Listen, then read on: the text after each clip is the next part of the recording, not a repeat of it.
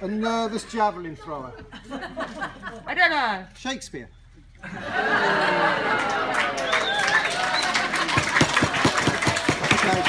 I've only got one more, don't worry.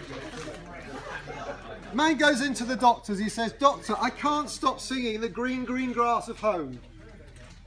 Doctor says, Oh, that sounds like Tom Jones syndrome. Is it common? Says the man. It's not unusual.